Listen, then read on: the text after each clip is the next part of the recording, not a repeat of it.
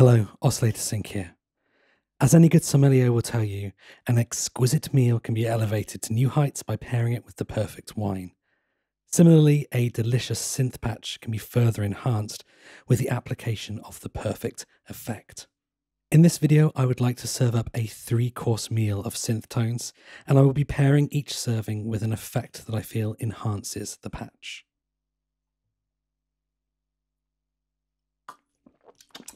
Mmm, delicious. The synth that I will be using today is the diminutive, quirky, and characterful Stylophone Gen X1, and I'll be choosing my effects from the tasting menu available on the ever popular Zoom Multistomp MS70 CDR. This is a sponsored video. It's sponsored by Dubreq, who make the Stylophone Gen X1. Uh, they approached me and asked me whether I wanted to create some content about it, and I said yes. Um, rather than asking for a, a, fee to make this video, instead I have asked uh, Dubreq to send me a bunch of uh, Gen X ones. They've sent me four, uh, which I um, I'm going to give away to uh, viewers of the channel. So stick around to find out how you can enter the giveaway to get one of these for free. For our first course, I thought we would start down at the bottom end of things with a bass sound. Uh, so I've got everything set to a fairly neutral position at the moment. And you'll notice I haven't got the stylophone tuned that low. Uh, and that's because on the side here we have uh, these three buttons and these two bottom ones here allow us to engage a sub oscillator either one octave or two octaves down or, or both. Um, so um, the two octaves down which you would think is kind of the bassest one and i guess you'd be right sounds like that which is a good sound. Uh, but i find that to get a punchier sound just the one octave down kind of sounds more sort of together, more sort of integrated with the main oscillator. Your mileage may vary, of course. So the kind of bass sound that I want to create here is kind of a donk donk kind of sort of slightly funky kind of uh, bass sound. Um, so the first thing we're going to want to do, of course, is drop our cutoff to get a darker kind of sound there. And then we're going to want to set our envelope to be quite plucky, sort of, as I say, sort of donk donk kind of sound. Um, so uh, for a plucky sound, we want our attack turned all the way down, and we want to bring our decay down pretty low.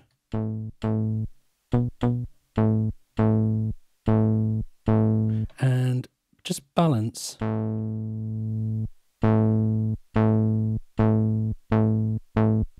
decay and the cutoff to get the kind of pluck that we want. So a longer decay is going to give us a, a, a sort of a slower descent, less of a plucky sound. Uh, and if we go very low on the decay, it's going to be probably a bit, maybe a bit too snappy, I don't know.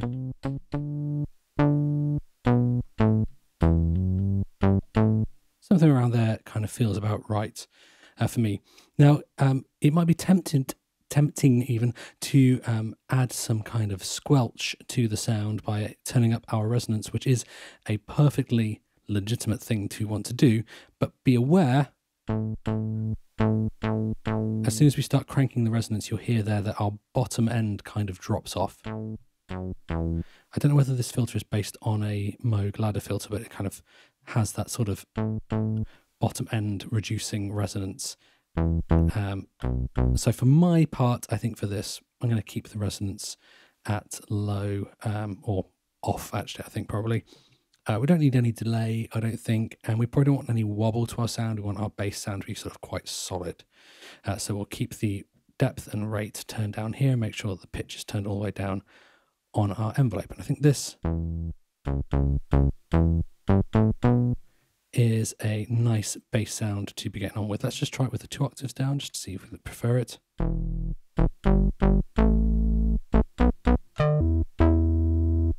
See, it's got a bit more low end, but it's not quite as punchy, I don't think. Maybe both together. Kind of loses definition a bit. I think just the one octave down It's probably what I'm after for this sound. So, in terms of our effects pairing uh, to go with this sound, I'm going to go with some stereo chorus. So, we're going from this to this.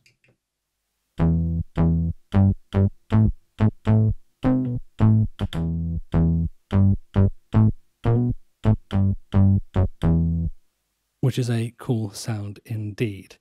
Um, I think this particular recipe uh, probably draws influence from the Roland Juno uh, synths with their built-in uh, chorus, stereo chorus, which added so much um, depth and interest to the sound. Now, conventional knowledge tells us that in the context of a mix, we don't want to have our bass too wide. Um, you tend to want to keep the bass in the middle of the mix, and we've certainly put our bass out towards the side. But because the stylophone isn't the weightiest of synths in the world, um, we're not going to be getting in the way of like our kick drum. So actually, I think having our bass going out a bit wider is a really, really nice thing.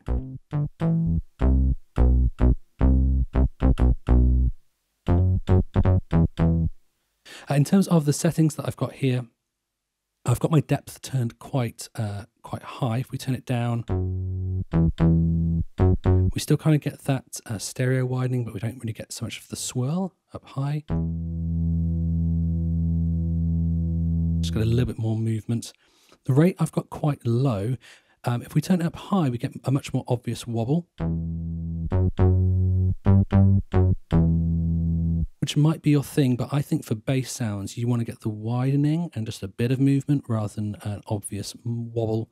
Uh, my mix I've got turned up pretty high, but we can adjust that to taste. The dry sound. You don't want quite the same level of obvious chorusing. We can have that set more sort of 50 50, but I quite like it. Quite high.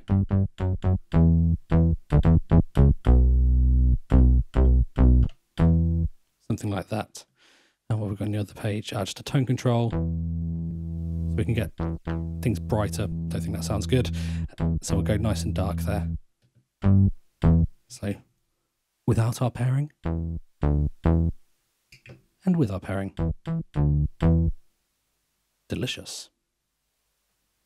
For our main course, I thought we would go for a pad sound. Now, pad sounds, I grant you, are usually reserved for polyphonic synthesizers, which the Gen X one certainly isn't. Um, but uh, with some tricks, we can get a pretty cool paddy sound that we can uh, make use of. Certainly would work well if it was sampled and then replayed polyphonically, but we can also get some sort of pseudo polyphonic hangover uh, in order to get um, some of that vibe. So I'm back with a kind of neutral sound here. And the first thing I'm going to do is just bring our filter down to a sort of middling position. And what I want to get is a slow movement uh, in our sound. Um, and for a slow movement, we want to have our envelope attack set very long and the decay set very long. We don't want pitch movement necessarily. Uh, but now we should get a nice sweeping sound on the filter. You can hear that we have a nice long journey up and a long journey down.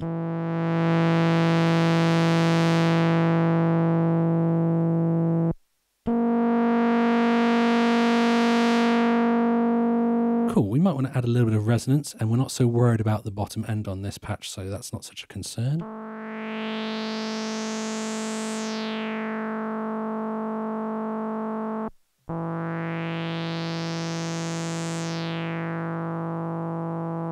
Great stuff. Uh, on the side here, as I mentioned, we have these two switches which allow us to add a sub oscillator, and perhaps we'll perhaps we'll add a sub oscillator in. Uh, but the one I'm more interested in is uh, this top um, button here, and this engages a kind of cross mod into the sound, which allows us to get much richer um, oscillator sound, almost like a chorus as it happens. Um, so without and with.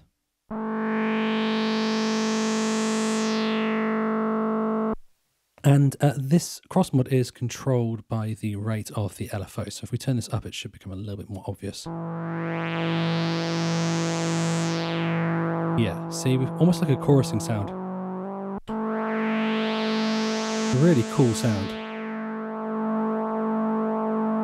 And while we're here, we might want to add a tiny bit of pitch wobble in there again, just for that added richness. So we just bring the depth up on the LFO, which will bring in some pitch modulation as well. Like only the tiniest little bit. I've barely nudged that up. Just want to barely be able to hear it. Should we try um, some sub oscillator there? Maybe the one octave down.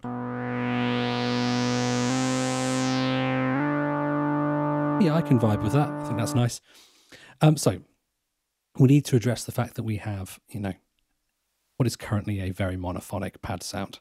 So we're going to try and get around this by making use of the built-in delay. So I am allowing myself to add some seasoning, if you like, uh, with the built-in delay here. So I'm going to turn it on and I'm going to turn the level up a little bit, maybe just halfway, and turn the delay time up a bit and the feedback up. And this should allow us to get some sort of hangover on the notes that we play.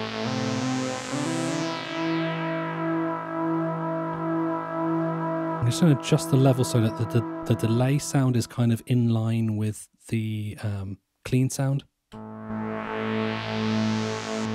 And maybe bring that delay time down a little bit. And then bring the feedback up. Now this feedback will self-oscillate, so we have to be a little bit careful not to go all the way up. I think we're okay there. Now we can kind of play chords if we move across the notes. To get a kind of paddy sound, right? So that's um, uh, a pretty nice uh, pseudo pad sound, especially given that this is a monophonic synthesizer. Now, my effect pairing for this is probably pretty obvious. It is probably the effect pairing that you would most associate with a pad sound. And I'm going to be adding a bit of reverb. In this case, I've gone with a plate reverb, but um, many different reverbs, of course, are available. So uh, let's have a listen. This is without.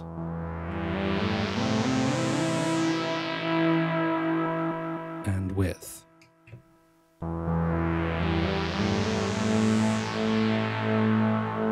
make it a little bit darker.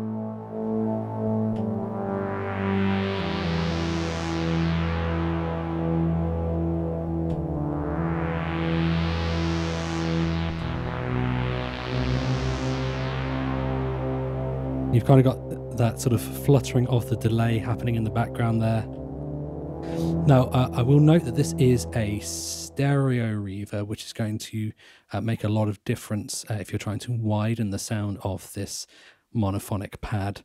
Um, a mono reverb would work fine as well, but stereo reverbs just add stereo width, of course. So in terms of how I've got this set at the moment, um, pre-delay is basically all the way down at um, the bottom. So uh, pre-delay will have a delay before the uh, reverb kind of kicks in on any particular note. What you can use the pre-delay for is kind of um, separating the dry sound from the reverb tail. So it kind of sounds like you're close to something in a big room, if you like. So you hear that the reverb there is coming in a little bit later, and that might work for this sound, I don't know.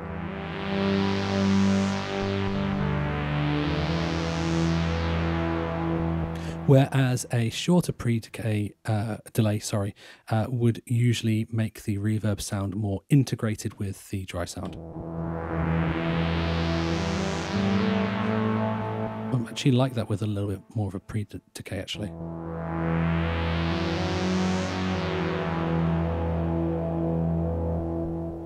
Yeah, uh, my decay is set sort of in the middle, so it's not the most epic reverb of all time, but we can make it more epic if we wanted, if we wanted a much longer tail here.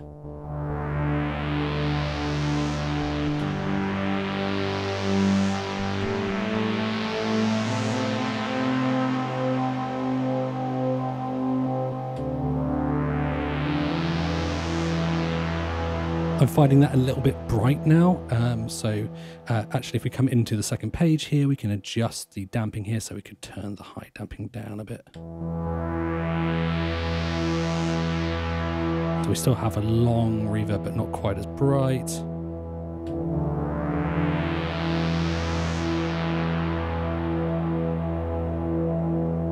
Yeah.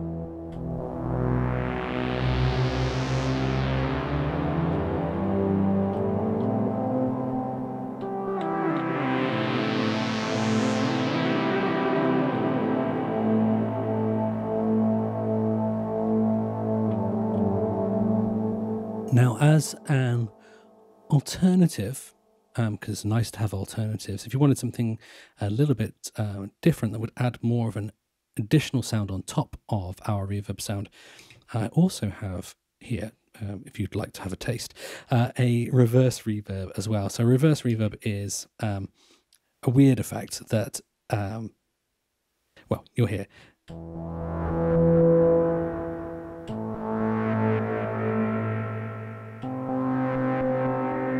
Kind of hear that you've got this reverb sort of fading in.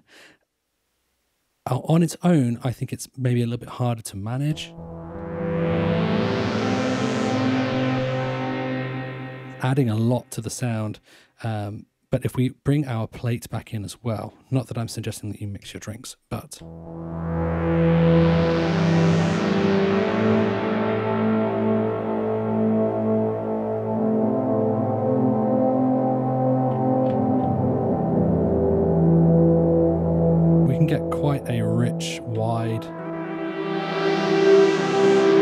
Ambient sound. And as I say, by playing our chord tones appropriately, we can get kind of chords out of this.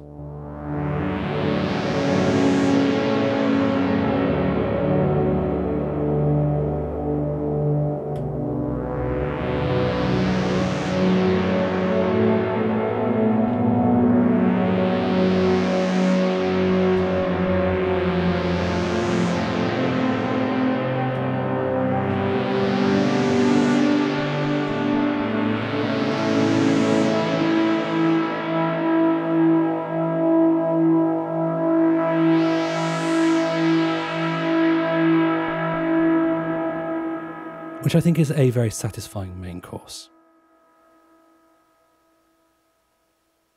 So, hopefully, your appetite is uh, suitably whetted and uh, you'd like to know how you can get your hands on a Gen X1 for yourself for free. Um, if you take a look in the description of the uh, video, you should be able to find a link to one of those social media raffle kind of uh, pages where you can enter a raffle to win one of these devices by following me on YouTube and following me on Twitter and liking me on Facebook and all of that kind of jazz. Um, so you can enter there. I will announce the winners on my various um, social media platforms and uh, hopefully get them shipped out as soon as possible. I'm probably making a mistake by not limiting uh, where in the world you can enter.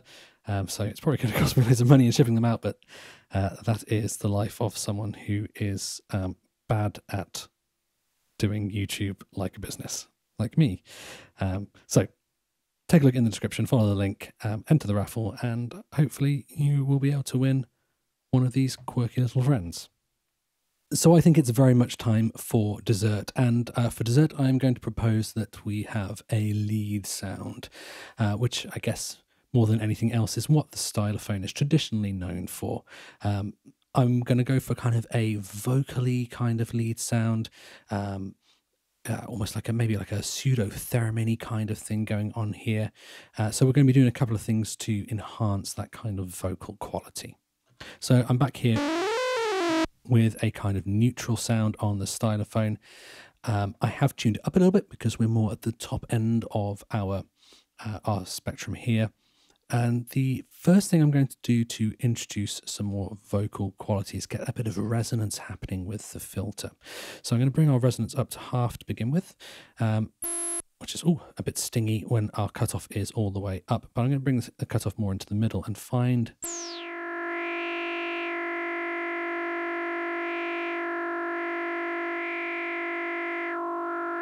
kind of hear those sort of vocal vowel like wow wow kind of sounds around here. And this can be the kind of thing that really um, you could be performing as you're playing um, uh, the lead as well. Now you can hear There's a bit of a tweak or tweet at the start of the sound there, and that's the um, envelope still affecting the cutoff. And we just want to soften that a little bit. So I'm just going to.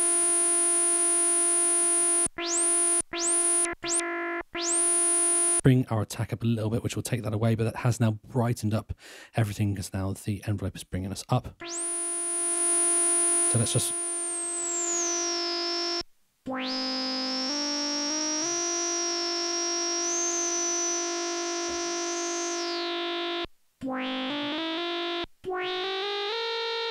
find more of our vocal sound again, like so. Okay. Um, the next kind of thing that we want to do to introduce that vocal quality is, of course, add a little bit of vibrato. Um, so uh, let's uh, do that by making use of the LFO, which is our pitch um, modulation. Vibrato being a pitch modulation.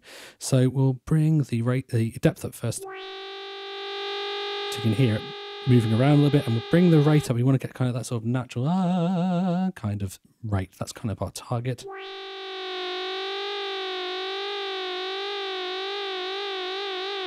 Which is quite fast actually. And we just want to adjust our depth.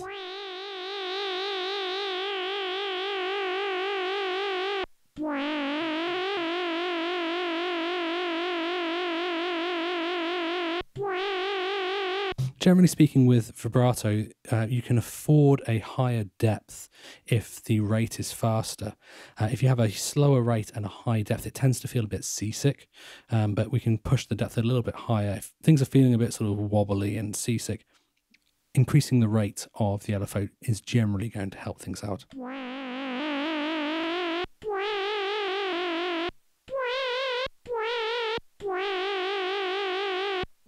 And again, this is probably something that we can be performing uh, as we play.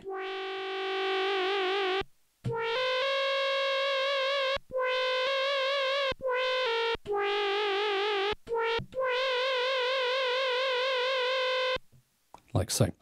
Um, I don't think we really want a sub oscillator this time. Doesn't track so high at the higher anyway. Uh, the cross modulation might be nice bit much. It's probably more of a um, electro lead sound, which is cool, but we kind of lose that vocal quality. Okay. Um, so uh, that's, I think, our basic patch. And the effect that I'd like to pair with this patch is something which I think will uh, further enhance the vocal tonality of uh, the sound. And what that is going to be is a phaser. So uh, without and with.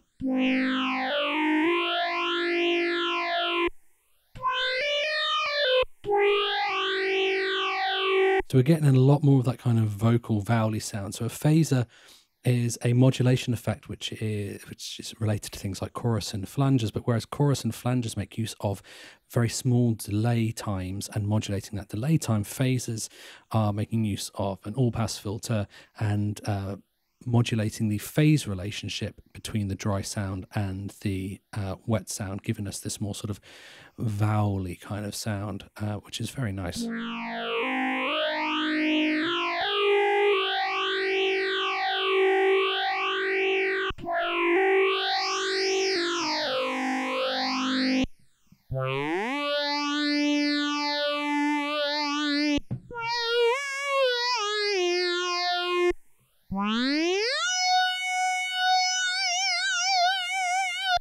we want to tune this up a little bit further even.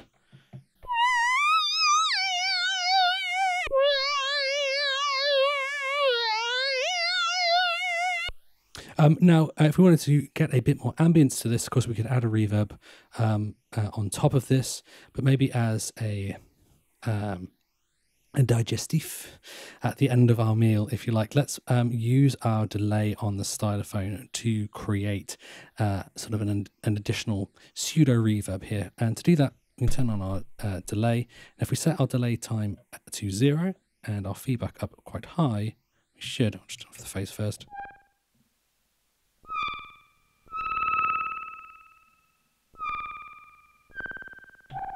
Get kind of a pseudo reverb there as well. Which, if you want those sci fi sounds, is.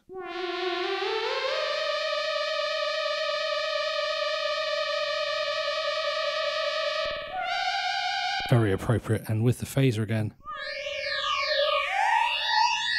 we're flying off into space to the Forbidden Planet. Anyway, I think that has um, concluded our meal. Thank you so much for watching the video. If you enjoyed it and found it interesting, as always, a like on the video and a subscribe to the channel is massively appreciated and it will help you uh, not miss out on any upcoming synth fun.